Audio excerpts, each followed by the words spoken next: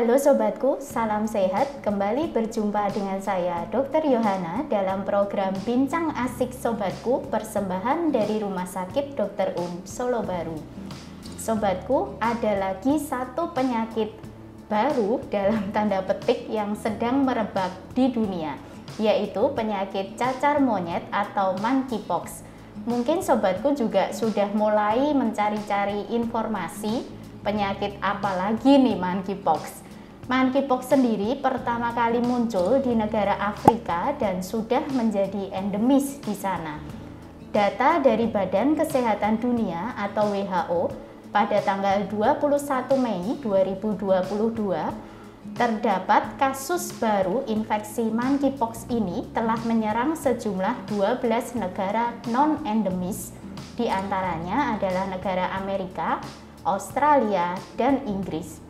Hal ini sejalan dengan keterangan yang diberikan oleh Badan Pencegahan dan Pengendalian Penyakit Eropa atau ECDC pada tanggal 25 Mei 2022 di mana terdapat sebanyak 219 orang di luar daerah endemis yang terinfeksi penyakit monkeypox ini. Dan jumlah ini meningkat lima kali lipat dibanding dengan perhitungan pertama yang dilakukan pada tanggal 20 Mei yang lalu. Untuk di Indonesia sendiri, data yang bersumber dari Kementerian Kesehatan Indonesia per tanggal 27 Mei 2022 belum ada laporan kasus infeksi monkeypox ini di Indonesia. Tetapi tidak ada salahnya kita lebih dini mengetahui apa itu monkeypox, mulai dari penyebabnya sampai dengan cara pencegahan yang bisa kita lakukan supaya kita senantiasa bisa hidup sehat bersama dengan keluarga.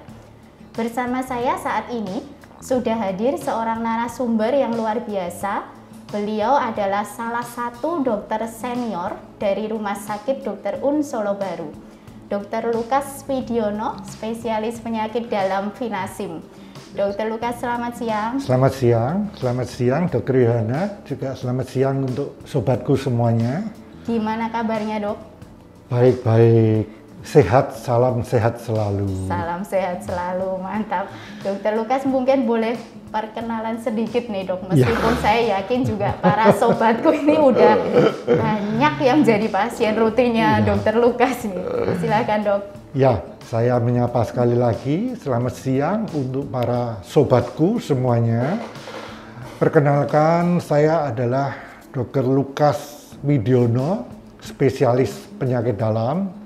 Saya sudah mengabdi di Rumah Sakit Dr. Un Solo Baru kurang lebih 20 tahun. Jadi termasuk sudah sudah lama di rumah sakit di sini, Dok.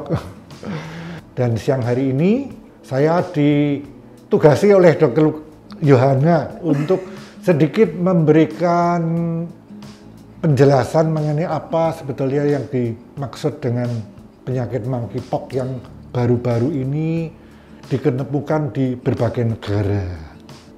Kayak seolah-olah jadi booming ya dok ya? Ya betul dok, bahwa kita dulu belum pernah mendengar apa itu monkeypox, tapi dalam beberapa waktu akhir belakangan ini sekitar mungkin awal-awal bulan Mei dok ya, itu uh, mulai WHO juga eh, me memperjelas jadi artinya WHO menerangkan bahwa kita harus hati-hati ada satu penyakit monkeypox yang mulai tersebar di berbagai negara. Ya. Sebetulnya Penyakit ini awalnya diketemukan tahun 1958, dok, yaitu di negara Afrika. Hmm. Uh, virus ini menyerang pertama kali adalah monyet yang, di, uh, yang dijadikan binatang percobaan di laboratorium di Afrika tahun 1958 dan diketemukan pada tahun 1970 ada di manusia Pertama kali di negara Kongo tahun 1970 anak-anak diketemukan adanya penyakit monkeypox. Jadi penyakit ini adalah penyakit yang zoonosis, jadi penyakit yang ditularkan dari binatang ke manusia. Itu sejarahnya awalnya ya dok. Ya. Dan penyakit ini sudah banyak diketemukan di negara Afrika, terutama adalah Afrika Barat dan Afrika Tengah. Tapi tiba-tiba memang penyakit ini pada tahun 2022, pada bulan-bulan April mulai diketemukan di negara-negara yang lain. Ya. Jadi di luar negara yang disebut sebagai negara endemis monkeypox, yaitu di luar negara Afrika mulai diketemukan di negara Eropa, di Amerika, mulai diketemukan di negara Australia. Ya, ya. itu sejarahnya dok. Jadi sebetulnya endemisnya penyakit ini yaitu di negara Afrika. Afrika ya. Dan sebenarnya kalau di Afrika sendiri sudah lama ada penyakit ini gitu iya, ya. Bahkan sejak tahun tadi 1970 dok. Dari pertama kali diketemukan kali menginfeksi, menginfeksi manusia, pada manusia adalah tahun udah 1970. Sejak tahun 1970. Ya tapi kemudian di awal bulan Mei 2022 ini mulailah tersebar ke beberapa negara. Kalau tadi WHO bilang sudah ditemukan laporannya di 12 negara selain negara Afrika tadi. Iya, Dok. Ya. Jadi ini WHO meminta kita untuk masing-masing untuk lebih perhatian. Jadi kenapa kok uh, sebetulnya penyakit ini eh, sudah lama di daerah Afrika, kok tiba-tiba bisa muncul di berbagai negara. Jadi apa karena kita pengawasannya kurang ketat atau ada memang ada kelolosan dari pasien-pasien yang dari Afrika yang tidak uh, terdeteksi kemudian masuk ke negara Eropa, ke Amerika dan ke Australia. Sehingga WHO menganjurkan kita semua negara mulai sekarang harus lebih hati-hati, lebih waspada, lebih dicermati lagi penyakit ini dok. Supaya penyakit ini tidak menyebar ke mana-mana, bisa terlokalisir. Betul, dan Betul. harapannya mungkin tidak menjadi wabah Betul dok. lagi ya dok. Ya, ya kita jadi lebih pengalaman karena untuk yang COVID itu pengalaman yang sangat berharga buat kita semua dok. Betul, dok. Dulu kita katakan bahwa COVID itu adalah flu Wuhan karena pertama kali diketemukan di Wuhan. Taunya penyakit itu bisa menyebar di mana-mana dok di seluruh dunia dan uh, yang membuat akhirnya jadi pandemi global. Betul. Sehingga WHO mengharapkan kita bisa perhatian uh, untuk penyakit monkeypox ini supaya tidak uh, menimbulkan masalah baru di kemudian hari. Iya. Iya dok. Nah kalau tadi mendengarkan penjelasan dokter Lukas nih dok, iya. memang awalnya dari kera ya dok. Betul, nah, betul dok. Untuk cara penularannya sendiri nih dok, iya. ini apakah murni dari binatang ke manusia? Iya. Atau dalam perkembangannya ini sudah antar manusia kita bisa ketularan juga? Iya, dok? iya dok. Memang pertama kali adalah antar binatang karena ini memang termasuk virus penyakit yang zoonosis, sumbernya binatang, terutama adalah uh, binatang primata, hmm. termasuk tupai, termasuk tikus, hmm. kera. Kemudian dari binatang ini menular ke manusia. Yeah. Dicurigai kemungkinan mungkin lewat cakaran dari binatang hmm. atau goresan-goresan, kemudian menginfeksi manusia. manusia. Dan pertama kali diketemukan tahun 1970 itu pada anak-anak uh, di negara Kongo, dok ya. Dan sampai sekarang kiranya penularan itu bisa terjadi antar manusia, hmm. dari manusia ke manusia yang lain. Kalau yang antar manusia nih dok, Iya dok. Kan kita jadi was-was ya. ini cara nularnya gimana nih? Kalau kayak bicara tentang COVID ini kan penularannya antar manusianya cukup uh, hebat karena kan lewat droplet aja bisa menular juga ya. dok. Nah kalau monkeypox ini penularannya via apa dok? Ya, uh, untuk monkeypox ini penularannya adalah lewat uh, antar manusia adalah lewat kontak erat dok. Hmm. Jadi kontak erat terutama antara uh, kulit dengan kulit, jadi antara kulit dengan kulit yang ada lesinya. Oh, Karena memang monkeypox ini eh, lesi yang ada di kulit adalah berupa ruam-ruam, kemudian eh, berupa gelembung. eh, kalau bahasa Jawa diistilahkan melenting begitu. Melenting dari melenting yang pecah, cairan itu adalah infeksius sekali. Cairan itu mudah untuk eh, menularkan ke orang lain. orang yang lain. Itu pertama. Jadi bisa antar kulit lewat lesi yang terinfeksi lesi kulit yang terinfeksi dari pasien yang terkena. Kemudian juga bisa lewat cairan-cairan tubuh yang lain dok. Cairan tubuh yang lain kemudian bisa lewat cairan air liur kemudian juga lewat dari material-material yang sudah terinfeksi, yang sudah terkontaminasi oleh virus. Material itu bisa baju, bisa tempat tidur, bisa ranjang yang yang sudah terpapar oleh virus itu. Jadi penularannya lewat itu yang bisa terjadi. Tidak tidak seperti kalau COVID lewat droplet udara ya Ya. ini adalah dari cairan tubuh yang dikeluarkan dikeluarkan oleh lewat tubuh mungkin kalau memang batuk ya mungkin bisa lewat dahaknya riaknya itu dok. Jadi kontak dengan cairan yang sudah terinfeksi, terinfeksi, gitu betul. ya. Dok. Ya, kalau antar manusia adalah kontak erat, jadi ya kontak yang eh, erat antara satu manusia dengan manusia yang lain. Misalnya menggunakan handuk gantian Ya, gitu Dok. handuk gantian, spray. pas belum tidak- dicuci dipakai temennya Ya, gitu ya, ya, ya, kemudian itu, itu bisa, bisa. ketularan bisa juga ketularan. berarti dan juga sebetulnya kulit kita adalah eh, bisa melindungi tubuh kita, tapi kita kan kadang tidak tahu pada kulit kita itu ada yang luka, ada yang Hmm. terbuka, sehingga eh, bagian yang luka itu kalau terkena dari cairan tubuh apa pasien yang eh, dengan ya. monkeypox. monkeypox tadi. dia bisa terkena Oh, jadi sebenarnya kalau kondisi kulit yang utuh utuh itu nggak apa-apa, ya, nggak apa-apa, nggak apa-apa. Tapi kadang kita nggak tahu pada kulit kita mungkin ada yang luka kecil, ada lesi-lesi kecil. Ya Apa kadang keberet juga Ya. kita nggak terasa bahwa itu luka, tapi ternyata lapisan kulitnya ada yang terbuka, Terbuka, juga ya dok. betul. Jadi penularannya eh, lewat itu dok. Baik. Ya, ha. Nah kemudian kalau kita bicara tentang gejala nih dok, tadi dokter Lukas sudah bilang salah satunya adalah Adanya ruam, ya, ruam. Orang Jawa eh, bilang ruam akut di kulit, ruang aku- ruam-ruam akut di kulit, jadi kemerahan, kemudian setelah beberapa hari timbul gelembung, melepuh kecil-kecil yang berisi air. Eh, karena ini penyebabnya adalah virus, dok. Jadi ini adalah virus termasuk ortopok. Gejalanya yang terjadi adalah seperti penyakit-penyakit virus yang lain.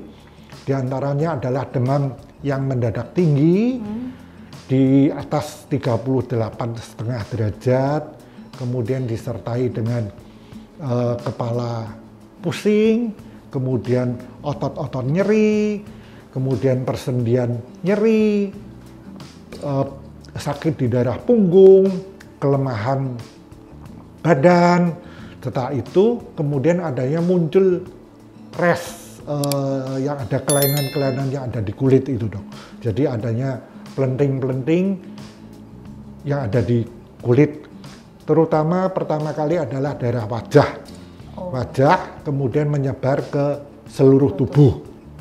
Yang yang khas sekali untuk monkeypox ini disertai dengan adanya pembesaran kelenjar getah bening. Jadi ada pembesaran kelenjar, kelenjar getah bening, baik itu bisa di leher, bisa di ketiak, maupun bisa di selangkangan. Jadi ini yang membedakan dengan eh, penyakit cacar yang biasa kita tahu yang sudah ada selama ini. Ya. Bahwa monkeypox ini lebih spesifik lagi adanya pembesaran dari kelenjar getah bening. Saya ulang lagi, jadi mungkin awal gejalanya adalah demam, kemudian setelah demam 1 sampai 3 hari, kemudian mulai timbul ada makula, ada kelainan kulit di wajah, kemerahan, mulai timbul bercak-bercak uh, yang berisi air begitu yang kemudian menyebar ke seluruh tubuh. Kemudian disertai badannya sakit semua, tulang-tulang sakit, punggung sakit, kepala pusing. Kemudian ada bagian-bagian kelenjar getah bening yang membesar. Ya, Itu gejalanya. Uh, kelenjar getah beningnya ini membesarnya hari keberapa dok? Atau Iya. memang setelah timbul Ya, bintik-bintik setelah timbul itu? bintik-bintik itu kemudian ya Diikuti diikuti dengan dengan pembesaran kelenjar getah bening ya, baik itu di leher bisa timbul di ketiak maupun di selangkangan di lipat paha Nah, untuk uh, bintik-bintik isi airnya ini dok, iya biasanya bisa sembuh iya dalam berapa hari? sebetulnya sih, Dok? bisa, sembuh jadi bintik-bintik ini akan lama-lama dia akan pecah dia akan ada yang pecah yang pecah kemudian yang kering dia akan mengering berupa kropeng-kropeng begitu dia akan sembuh selama 2 sampai 4 minggu dok Oh, lama ya dok? Ya, kemudian mengering tanpa ada menimbulkan eh, sisa bekas-bekas Bekas. apa dia dia akan bersih selama 2 sampai 4 minggu, Dok. Ya, memang kita harus menjaga pada waktu awal-awal masa akut ini ya, Dok, karena pelenting-pelenting ini bisa muncul di seluruh tubuh termasuk di mukosa. Mukosa itu artinya mukosa mulut, di tenggorokan, lendir, ya, selaput lendir. Ya dok, baik itu di eh, Berarti di dalam mulut, di tenggorokan bisa bisa terjadi. keluar gitu ya, ya, kemudian juga di genital, di alat kelamin, mukosa juga bisa terjadi, bisa timbul itu. Hmm. Sehingga kalau itu timbul di tenggorokan, di mulut akan mengganggu makan kita dok.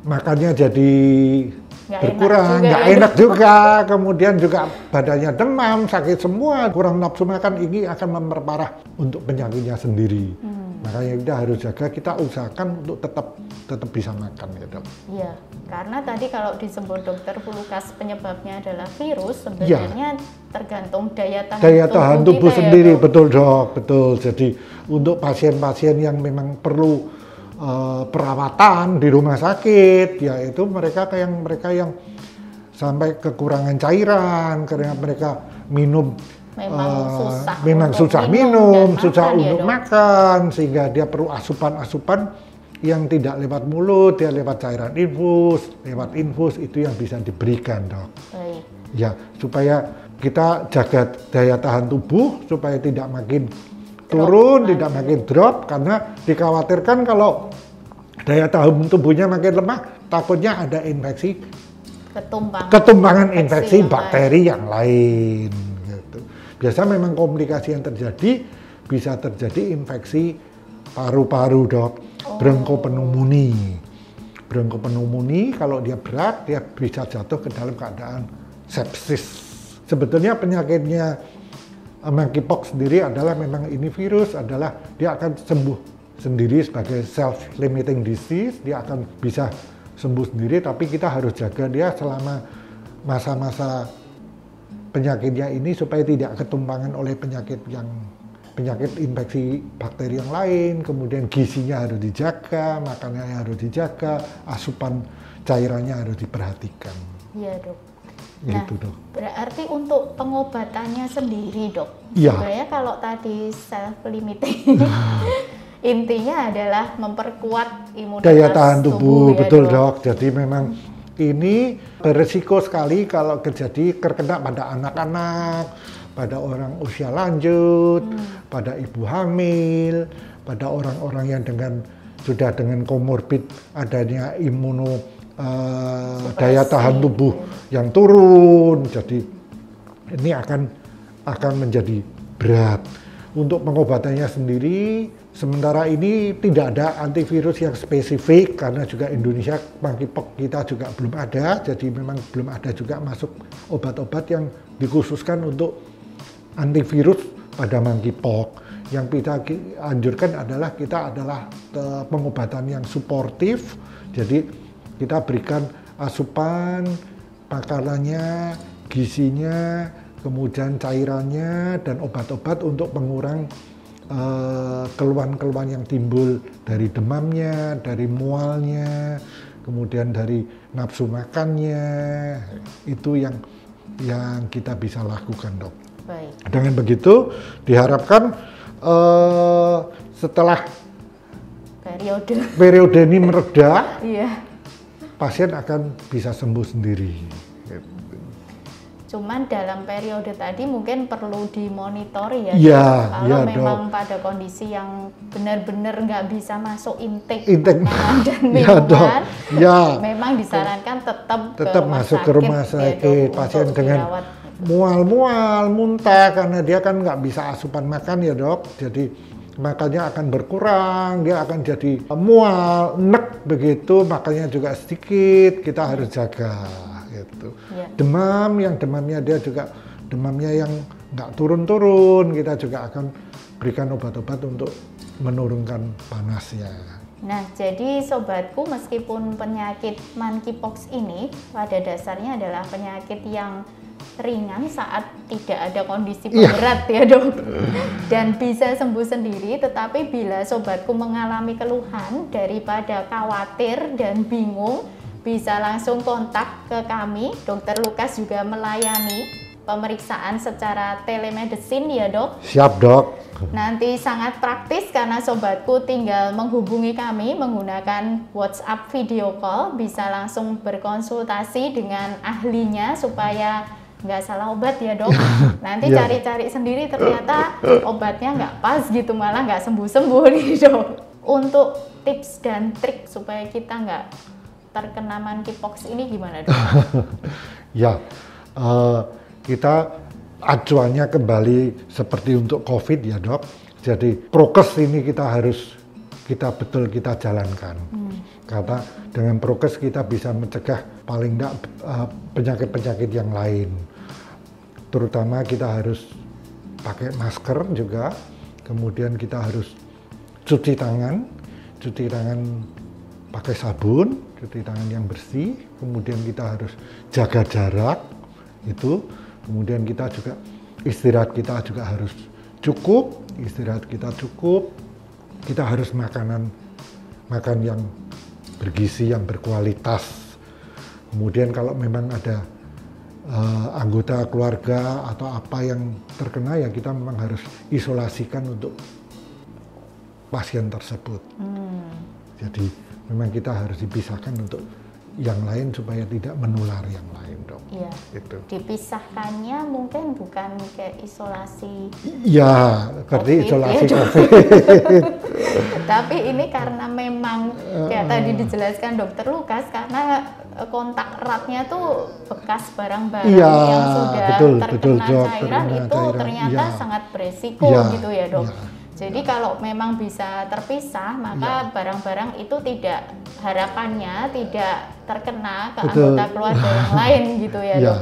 Sehingga bisa meminimalisir resiko anggota keluarga yang lain untuk terkena juga. betul gitu. dok, betul. Nah, dokter Lukas, yang menarik nih dok, Hmm. kadang-kadang kalau kita bicara masalah penyakit virus, Iya, nah vaksinasi ini kan menjadi salah satu upaya preventif pencegahan, betul dok, yang bisa pencegahan. dilakukan Iya. ya dok. Dengan vaksinasi kita bisa mencegah penyakit-penyakit yang akan terjadi dok. Dan Iya. kita juga memang vaksinnya khusus untuk penyakit itu sendiri ya dok ya. Betul. Untuk cacar uh, monkeypox ini memang kita masih bisa menggunakan vaksin cacar yang biasa kita pakai, dok. Itu kita ambil mungkin ada uh, cross reactionnya, reaksi silang diharapkan dengan menggunakan vaksin yang biasa kita beredar, diharapkan ikut bisa memberikan perlindungan. Hmm. Itu. Jadi untuk vaksin cacar sendiri masih di beberapa negara dipakai juga dok, dipakai untuk mencegah kejadinya monkeypox ini dok. Baik, jadi dengan menggunakan vaksinasi cacar yang Ya, sudah sudah ada selama ini, ya. itu masih bisa sebagai salah satu upaya untuk pencegahan Betul dok, ya, Dokter betul ya, Baik. betul dok. Terima kasih banyak Dokter Lukas. Sama-sama, untuk Dok. Sharingnya kali ini Ya, sangat menarik ya dok karena merupakan penyakit yang baru booming lagi gitu Ya, meskipun ya. penyakit ini sebenarnya sudah, Sudah lama, lama, ada ya. dan menjadi endemis di Ya. salah satu negara di betul dunia dok. ya dok. Jadi ini untuk kita lebih membuka uh, perhatian kita, membuka wawasan kita supaya kita lebih perhatian bahwa ada yang disebut monkeypox begitu yeah. dok. Jadi kalau dulu cuma kita mengenal cacar air yang yang biasa biasa terjadi yang bisa timbul tetapi ini ada cacar air juga tapi yang jenis yang lain yeah, begitu betul. yang dengan yang disebut sebagai monkeypox supaya kita juga tidak terlewatkan aja penyakit itu karena dikhawatirkan kalau penyakit itu kita tidak perhatian, tidak menaruh perhatian yang lebih, takutnya penyakit itu nanti tahu-tahu dan menyebar ke mana-mana gitu. Yang diharapkan dari Badan Kesehatan Dunia bahwa kita harus tetap perhatian, kita harus tetap pengawasan untuk penyakit-penyakit yang baru muncul yang kemudian menyebar ke mana-mana itu. Ya.